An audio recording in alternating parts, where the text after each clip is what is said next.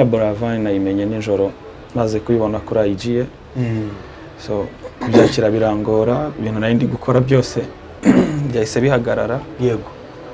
Turahangara duhamagara ati bubu ugiye mfite ukuntu numva imana afite. Yari yazanye na ba ruti n'abandi bantu bitwa ba cyogere bo ba- batabyumva. Hano arambwira ati njye mfite ukuntu nshaka kubabwira imana. Yashushanyije atwereka space. Aha umwanya munini w'umukara. N'aha ngaha turi. Hari imana. Aravuga ati kandi nanjye ningenda ngo nanjye nzaba ndaha hantu. I think nawe ari kunyumva.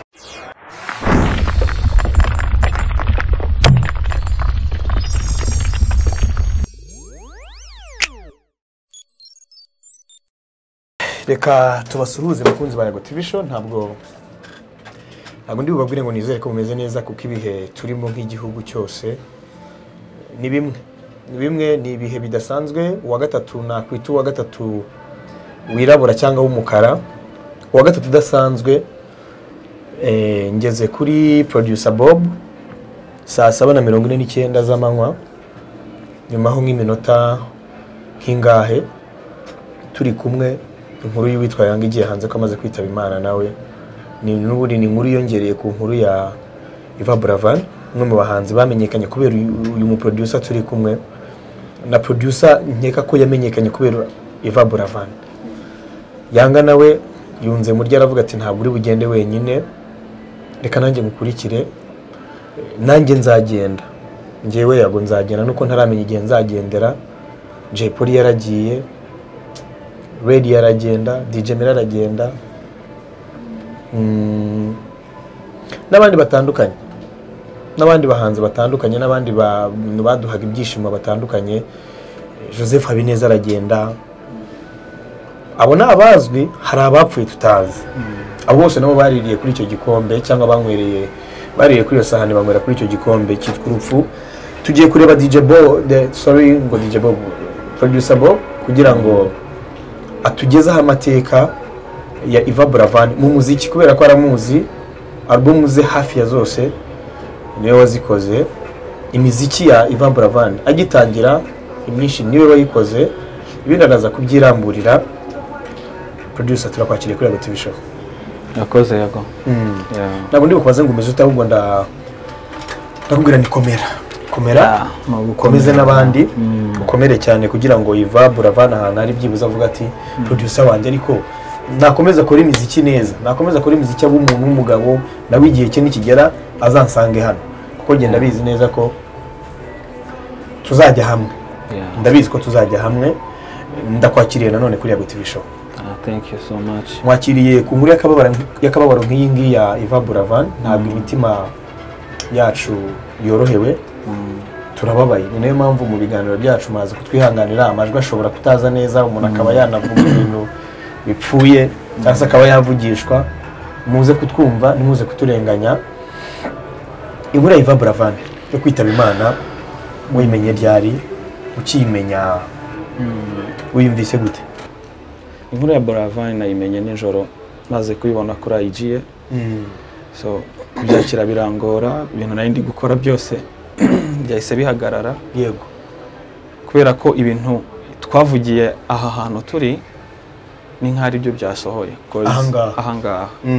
Abantu benshi barahazi rashi yari ahari nawe arahari na hano nawe yaza yabivuga. Yego mu kanya turamuha karibu. Ya so yavugiye hano ibintu araduhamaga Njyewe yaje yaje yashushanyije imana.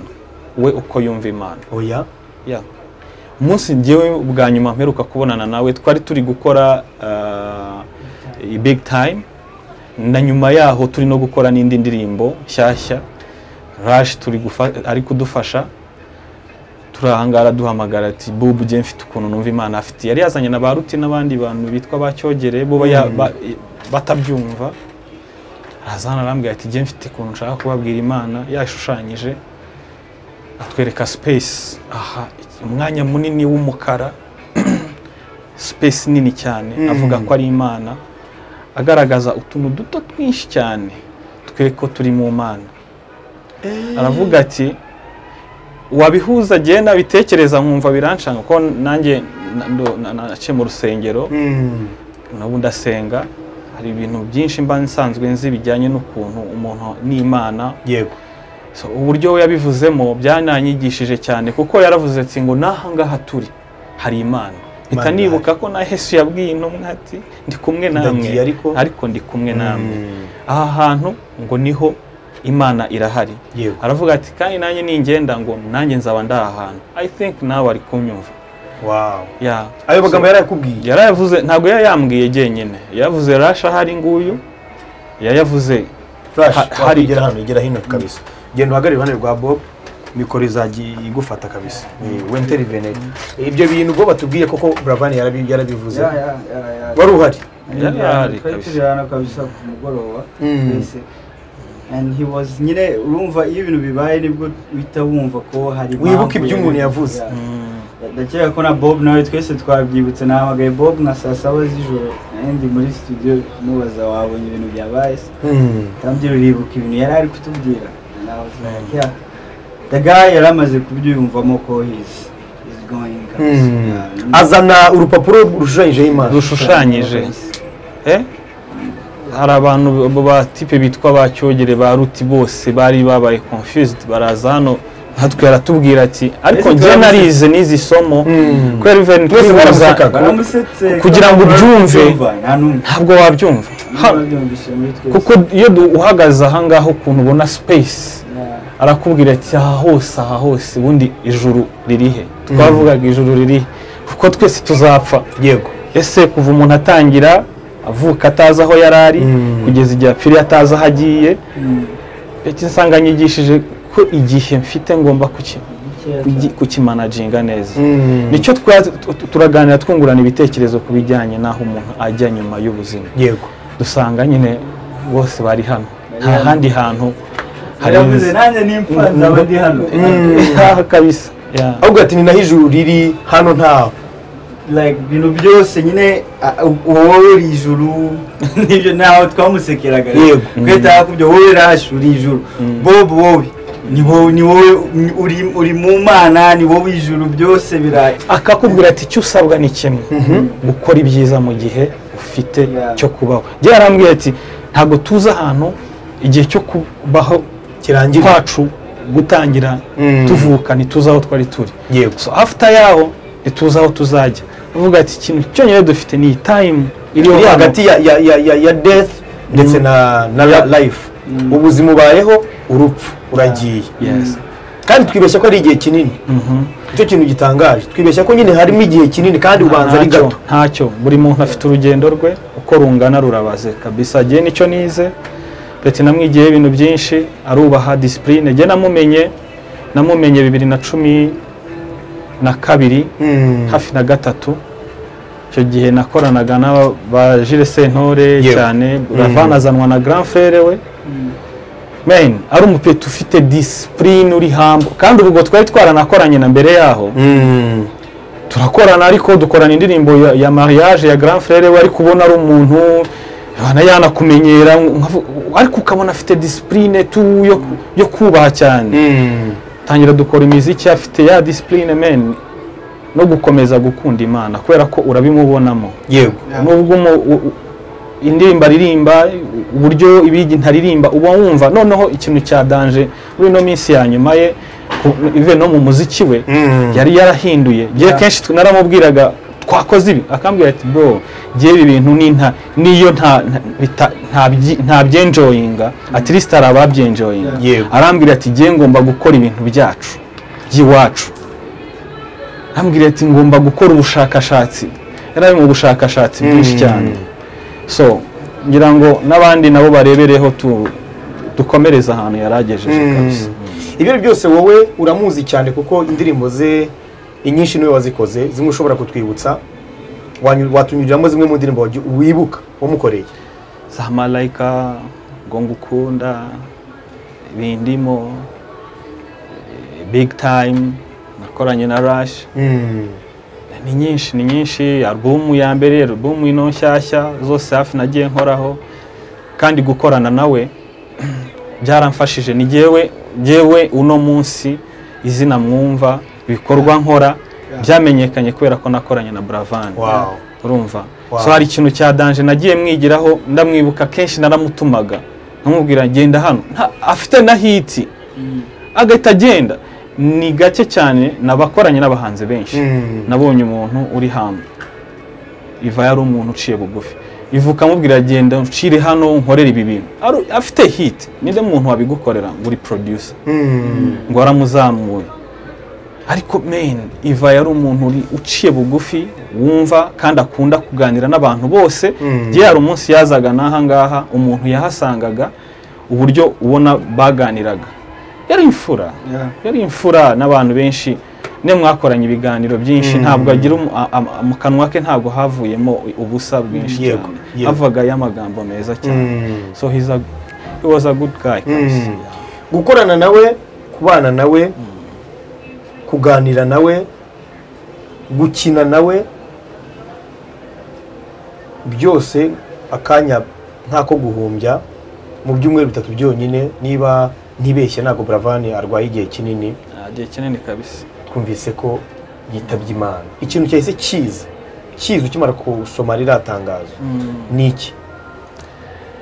Ntabwo nabanje kubyemera. Mhm. njye nkibibona hari ukuntu ubibona ugashaka nyine kugira ngo wenda n'abandi babimenye ariko cyangwa bikakugora bitewe n'ukuntu ushobora no kwikubita hasi rega ariko bya- ntabwo nabyumvaga ko ari byo nabanje no kwanga nda- ndavuga ni nimbona ku binyamakuru nakwizera babivuze ni bwo ndi bubyemere. Mm. mpamagara grand frere we telefone nta yari iriho sisita we nawe ni uko. Urumva nabo bashobora kuba bari muri stress. Ndavuga nta kintu ndi nta kintu ndi buvuge mu gihe mbona nabibonye kuri IG ariko sinabyizera. Ndavuga ni wenda bamuhakinze tu. Okay nyuma yaho ngiye kubona mbona ni byo koko. Mana ibyangoye nyine kubyumva ariko isomo mba nize ni uguca bugufi. Mm. guca bugufi mu gihe no kumenya gukoresha igihe ukamenya ko nyine hari ubundi ugomba kurangira. Mm. igihe cyose ugomba kurangira kizatuma umenya urugira urukundo uzakunda abantu umenye kubana n'abantu ndetse umenye no gukoresha igihe cyawe neza. Utazasigara uvuga ngo abantu bambereye babi kuko Mm. wakoresheje igihe cyawe nabi. Yego. So igihe abantu bagikoreshe neza ndetse abantu bakundane ni ho byose byava mu iterambere. Mm. Ntabwo ari ibihe byoroshye ku gihugu ndetse n'abanyarwanda mwese muba hanze y'igihugu ntabwo ari ibihe byoroshye eh, kuri music industry ntabwo ari ibintu byoroshye ku bafite ahantu bahuriye n'umuziki ntabwo ari ibintu byoroshye ku bafana abakunze imiziki ya buravan. N'uyu munsi ntekereza ko muzakomeza kuyikunda kumva inkuru nk'iyi ngiyi. Umuryango wa buravan turawukomeje. Ndetse n'umuryango mugari w'abanyarwanda umuryango wa tom ari we yanga turawukomeje. Ndetse n'umuryango mugari w'abanyarwanda. Uyu ni umunsi ushobora kuvuga gute bob? Man, ni ubwa mbere mbabaye tu. Ni ubwa mbere mbabaye mbuze inshuti. Ntabwo ari umunsi ntazibagirwa mu buzima bwanjye. Even ibi byose nari nakoze hano ubona nagerageje gukora aha hari uburyo yayazaga hano tu- hano hantu iyo turi gukora kenshi turananirwa muri studio tukaza tugahagarara aha tugatekereza. So iyo uri kubona muganira n'inshuti mureba igihugu cyanyu kiri gutera imbere mubona ikirere cyiza mwumva amahoro mwumva impumeko. So hari ukuntu muba mutekereza neza so tukaruhuka turiya tukaganira rero. Ibana buriya mba nize tu imana kwiriho tu imana iriho ntabwo umuntu avuga ibintu abivugira ubusa. Inshuti yanjye ya kabiri igiye ya mbere na yo yarabimbwiye ko igiye gupfa. Yarabyumvaga S- biraba n'uyu nawe arabivuze kandi we yambwiye ko biri aha kandi ari aha ngaha. Yabikubwiye mu- muri hano. Hano aha ngaha ni ho mwe muhagaze. Twese hano n'abandi batipe aje kutubwira iyo, iyo mana yari yashushanyije ubwo hari nka kabisa. sangahe hari mu ijoro. Mw'ijoro. hari mu ijoro turi gukora big time twananiwe. urwo rupapuro yari yari yarangiye ni ya yindi ya nyuma. ya ya nyuma Eh, ya- nta- nta kwezi. None se urwo rupapuro- ni ibyumweru nka bingahe? Eh, urwo rupapuro mu mwijima hano ya- yarabashushanyirizaga mukabibona yari yaje yabishushanyije yari babiganirije na ba ruti. N'abandi bagenzi be. bazanye hano ntibabyumva aza afite urupapuro anararubika tugeze hano aratubwira ati ndashaka kubabwira imana ba batipe baraseka. Ahita agenda hariya azana rwa rupapuro. Ariko genda ashaka mu bantu wenda babanaga na- mu rugo nawe badushakire ruriya rupapuro. Kuko yarabishushanyije araza aragenda araru- araruzana. Aho yari yabishushanyije Mm. araruzana. Aho yari yabibitse arazana aratwereka ngo imana ni uku imana ni ngari kandi turi mu mana. Niyo mpamvu twaremwe mu ishusho y'imana niyo mpamvu natwe turi imana iturimo.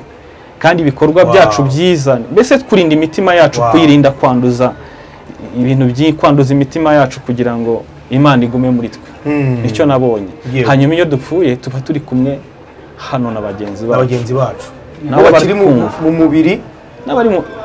Twe ntabwo tumubona ariko aratubona. Aratubona. aratubona tu. Kuko hari izindi mbaraga waba iryo yambaye. juru nta- ntekereza ko none wari hari ahandi riri? Yatwibwiye ko ijuru riri aha. Riri aha. Abantu bose bagiye none na yesu ubwe yarabivuze ngo singiye ngo kandi ndi kumwe namwe. Kandi yagiye mu ijuru. So ijuru riri hehe sasa? Byatumye ntekereza ibintu byinshi byinshi cyane. Mm. Wow. biterwa n'iki kugira ngo umuntu najya gupfa abimenye?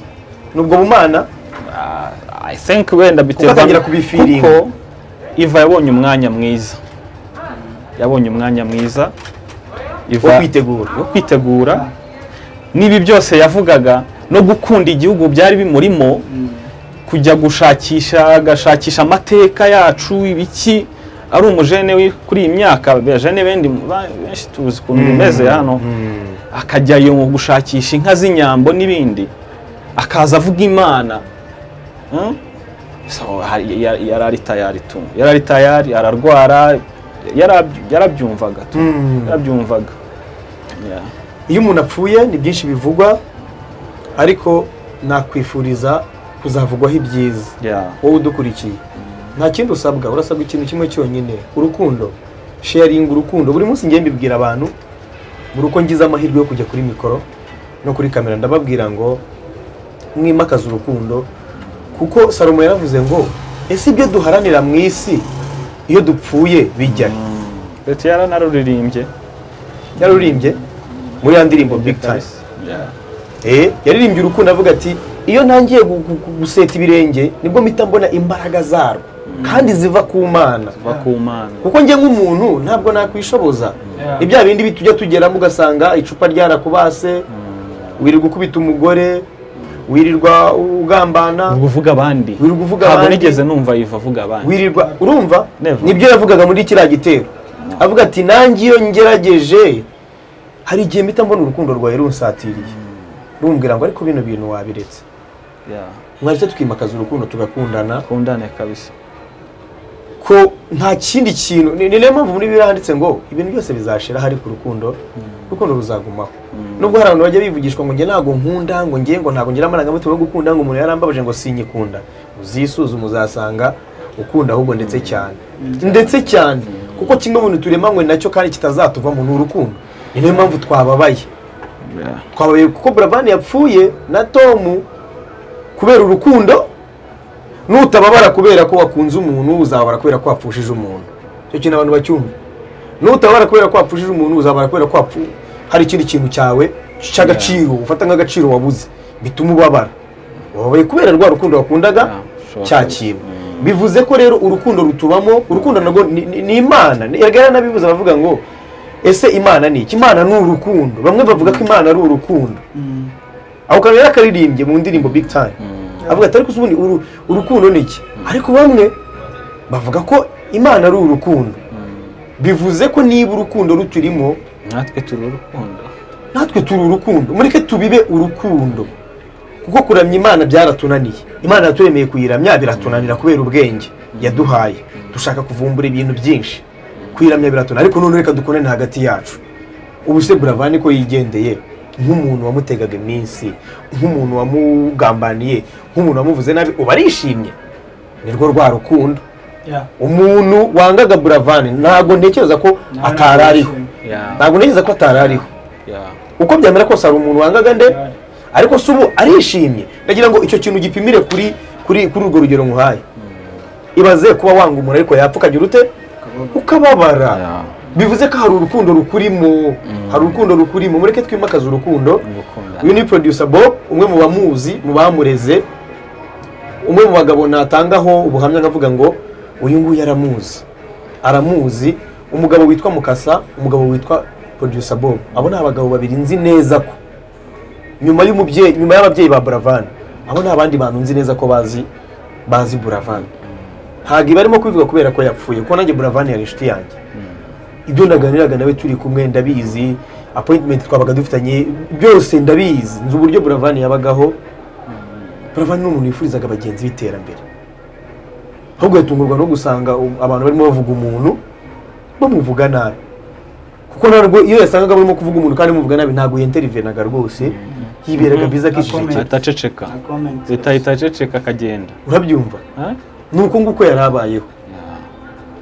Rero impamvu mvuze ibi nta yindi. Ntawatekerezaga ko buravana ari bugende ku myaka makumyabiri n'irindwi. Ntawatekerezaga ko yanga wasobanuye filime abantu bakamukunda abanyarwanda bakamukunda. Yatabaruka ibyo bintu si ntekereza ko urimo kora kino kiganiro wigize ubitekerezaho ko wabona ifoto ya buravana aseka handitseho ngo rest in peace. Wowe urimo kureba kino kiganiro. None se niba urimo kureba kino kiganiro ukaba utexpectingaga kubona ifoto yanditseho ngo rest in peace buravana waba iby'urukundo ko nawe utazi igihe uzagendera. Rush ni producer mu producer bakiri batoya. Ni na yo mpamvu urukundo nk'iyo mbonye producer bob ari kumwe na producer rush biranshimisha. Ko byibuze mpita mvuga ni hari ibyo bob arimo guha rush? Hari ibyo rush arimo guha bob? Ejo bundi rush agiye cyangwa bob akagenda cyangwa yaga akagenda hari uwasigara avuga ati byibuze uno mugabo ya- yangiriye neza. Washatse umuntu umwe byibuze ufasha cyangwa babiri kutazi uzakuvuga kutazi ibyo azakuvuga kutazi igihe uzagendera. Ibyo ndabivugira n'ibintu bimaze iminsi biba muri music industry yacu. Yeah, sure, kabisa. ibintu by'akagambane ibintu byo kudakundana ibintu bi- ibintu bibi gusa ibintu by'agasuzuguro gusuzugura umuntu. Utazi niba uzamutanga cyangwa azagutanga kunywera kuri cya gikombe. Wahize ukamwicisha inzara wahize ukamuvuga nabi wahize ukamuteranya wahize ukamusebya. Utazi niba uzagenda mbere ye cyangwa azagenda mbere yawe. Ibyo bintu mwese tukabihagarika tugasenyera umugozi umwe mukareba ko tutishima. Buravana atubere urugero rwiza. Yanga atubere urugero rwiza. Tunabone no gukomeza junior Junior giti ndetse na sankara. Bamwe mu bantu nabo bari muri music industry kandi babuze umuntu ukomeye cyane. Kabisa. Imiryango yanyu turayihanganishije mukomere cyane. Kubura umuntu ntabwo byoroha ariko nanone hari tugomba kwakira urupfu. Urupfu ntirwakirwa ariko nanone tugomba kubana narwo kuko urupfu ruri permanent. Njye hari filozofi ishaka kwihera abantu badu- badukurikiye. Urupfu ruri permanent. Icyo kintu mucyumve neza. Inyubako ntabwo ziri permanent ibyakozwe n'umuntu indege ntabwo ziri permanent zishobora kugera igihe zigashira nk'uko dinezoro zashize ku isi. Dinezoro byari ibiremwa noneho ariko dinezoro zarashize ku isi. Imihanda ntabwo ibyo byose byose byo bishobora gushira. Ni na yo mpamvu n'inzu yari yubatswe ahantu ya etaje ushobora kumara imyaka itanu waza ugahasanga igisambu. Yarasenyutse basigaye banaharagira inka. Kuko abantu bari bariho mbere ya, jenoside yakorewe abatutsi uburyo kigali imeze ntabwo bagarutse bapfa ku- kuvuga bati "Eh, ibintu twabonaga mbere ya jenoside ni gute bigezweho? Muri iki gihe mu myaka makumyabiri n'umunani gusa twaba tubona ama etaje n'ibiki byose. Ibyo byose rero birashira ibyo mubwiye birashira. Ariko urupfu rwo ni permanent. Miliyari zirindwi na miliyoni magana inani zituye isi. Every soul will taste death. Yeah of course. Sure kabisa. Nutekereza ko abantu wagiye umenya bakomeye bagiye baba abaperezida bakomeye bagiye baba ibyihebe bikomeye. Ukabatekereza ugasanga ntibagihari. Ba Osama bin Laden baragiye ba Muammar Gaddafi baragiye ba Michael Jackson baragiye ba Bob Marley baragiye ba Lucky Dube baragiye ba Mozey Radio baragiye. Abaperezida bakomeye twagiye tumenya baragiye. Urabyo ba Fidel Castro baragiye ba Tupac Shakur baragiye. Abo bose nta n'umwe uragira ute? Nta n'umwe uragaruka. Nta n'umwe uragaruka muri abo bantu bose. Urupfu rero ruri- ruri permanent. Tugomba kwiyakira. Buravana arapfuye. Reka tumuvuge ibigwi. Ntiturire ntiduheranwe n'agahinda eh buravana arapfuye yego. Kuko nta kintu turi bubihindureho ariko imana ya- yadesize ikavuga ati akazi ka buravana aho ku isi kararangiye reka ngere ahandi hantu mujyana naho agiye kunkorera akazi. Kuko imana turemye idukura kandi twe turi ibiremwa byayo. Iba ikwiye kudukoresha ibyo? Ishaka. Urimo urabyumva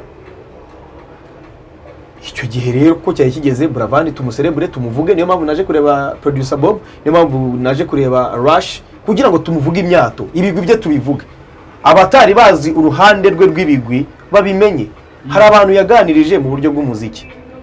Ariko noneho hari abantu babanye nawe bamuzi.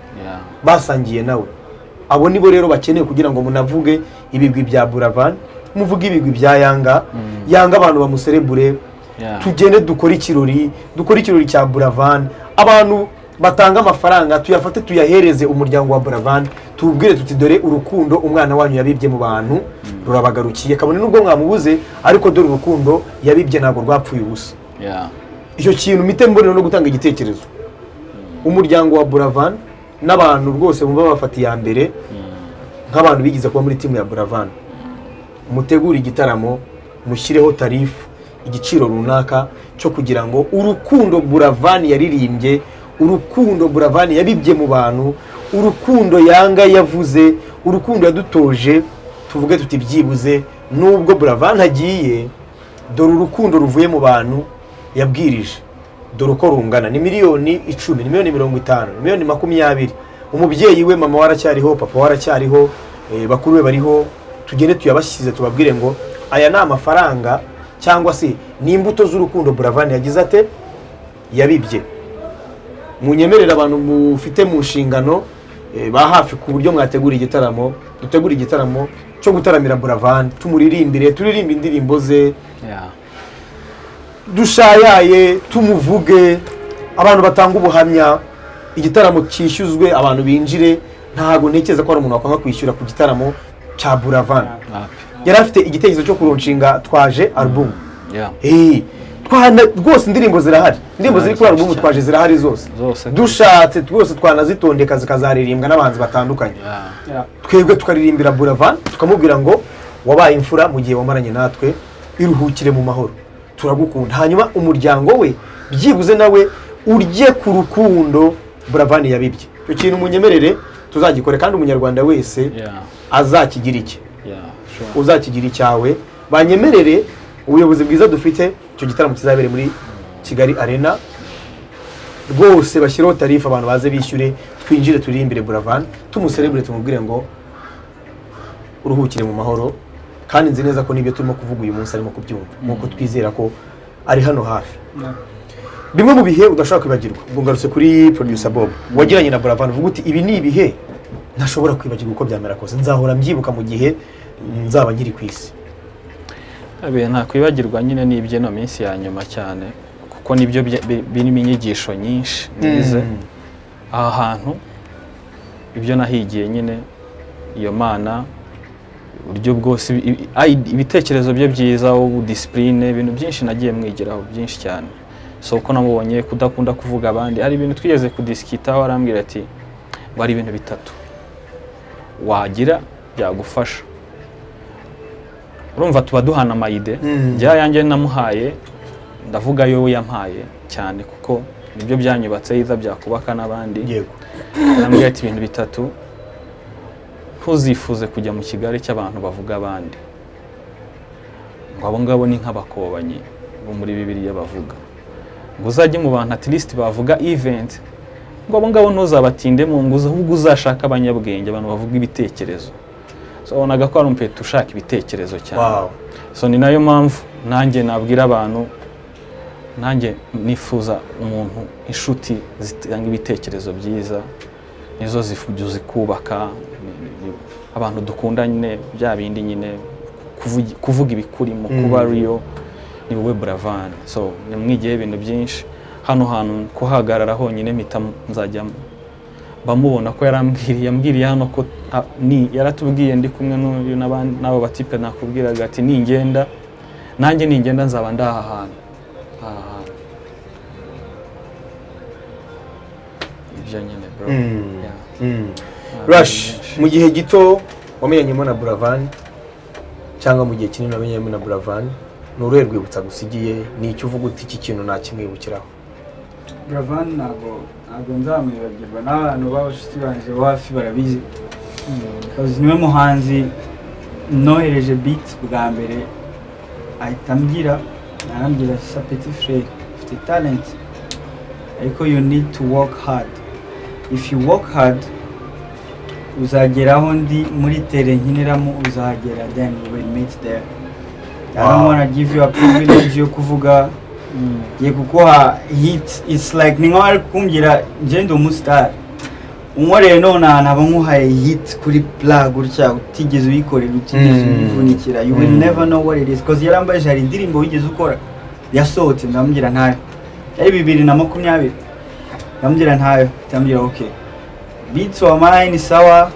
Twari tumaze no kumvikana gahunda yo kuhurira muri studio. Ndamubwira beats wa mine sawa ariko banza ukore banza ukore if you work hard wow we will meet muri terengere nyiniramo and i thank god i worked hard kandi twarahuye muri iyo terrain Wow. this was a privilege gukora kuri projet ze ebyiri zasohotse uh, yayingiwe na france Yeah. na, na Mm.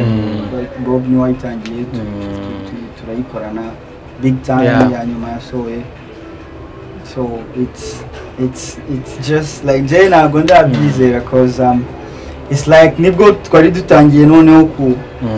kumenyana like ni bwo nari ntangiye kumenya by the way na big time big time kiriya gitero cyose cya kabiri. Mm. ni ni ni, ni rush. Wow. Eh? urumva iva afite umutima wa esprit. ni ukuvuga ngo kukubwira arashaka gukora kumenya Yeah. kumanaginga time Mm. igihe. Niyo mpamvu yatubwiraga hano buri gihe ngo utazi igihe wavukiye aho wari uri n'igihe cyo kurangira kwawe aho uzajya. Use koresha iki gihe neza kandi ukore cyane. Mm. uharanire ku- kubarenga tu. Urumva rero ibyo bintu byose nyine. Man yarazaga hano akumva ide ya buri muntu. Kandi agahita ayikunda. Akumva. Igitero cyose kiriya ndirimbo. Yeah, Jo- Mm. Jo- Jo, I think, Jo, I think that, that brother, ubu ni bwo abantu bari bubyumve noneho.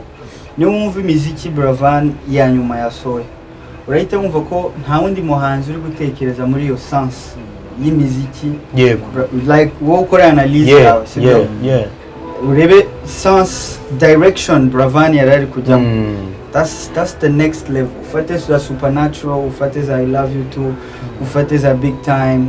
Urahita wumva ko he was yaramaze kutusiga kuri level imwe runaka turiho. Mm. atangiye gutekereza ukundi. Gushaka and i think tubaye tubaye tu- njyewe i call him a legend. He's a legend. So ni urugero rwiza rw'abahanzi twareberaho. Tukoriyanta umuziki wacu. Ahantu buravan yaratangiye kuwutwara. Ko ni level international. Mm. go and listen to his latest music. Urahita wumva ko nta munyarwanda urakora iyo miziki. Imeze gutyo. byumve neza. Mm. ntawe Ntawe kabisa. ntawe kabisa. Mm. so he's a, he's a legend. Ntabwo nabona ibyo navuga. May he soul rest in peace Mm. until we meet again. Yeah yeah until we meet again. Reka tumubwire ko yari imfura cyane.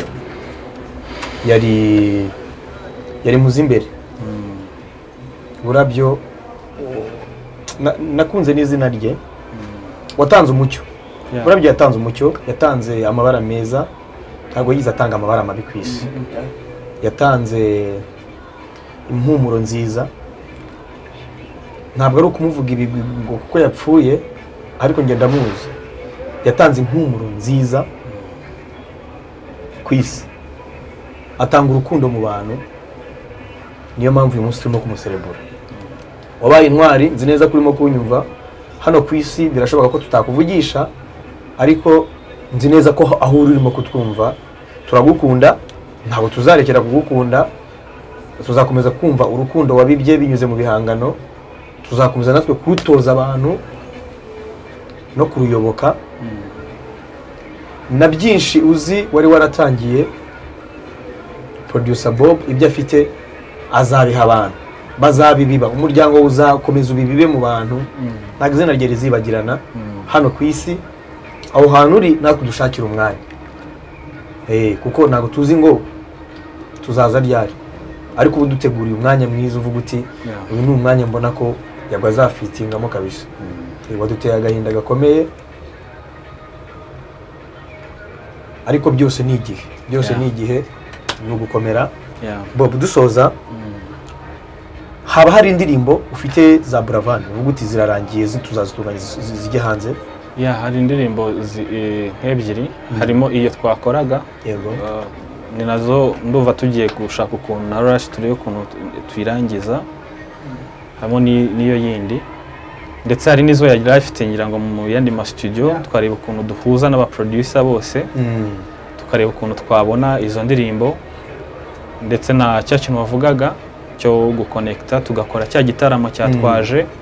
Abantu babyumvishije turareba ukuntu tuza guhuza amakontakiti n'iki turebe ukuntu dukora icyo kintu. Ikindi wenda nashakaga muri kintu nize uh, nari nibagiwe kuvuga nashaka gushimira Hollybeat Hollybeat yahaye indirimbo yahaye indirimbo Buravan wow. I- abantu baze kumva nyine iriya ndirimbo tu. Bumva amagambo ari Yesu, mm, ni Yesu. Yesu. Mm? Iva yari afite urukundo rukunda Imana cyane tu. So twese dukunda Imana nidukunda Imana natwe dukundane Mm. ko ntabwo wavuga ngo ukunda Imana wanga bagenzi bawe kandi ukunze mugenzi wawe ukunze Imana niyo mpamvu mbona na- arabibona ibyo dukora byose dukomeze tumushyigikire duharanire kugira ibitekerezo byiza nk'uko yahoze abivuga Mm. Yeah. ikintu ushimira imana kurusha ibindi ku munsi w'itabaruka rya Iva Buravan ni uko namushimiye akiriho. Mujye mushimira abantu bakiriho.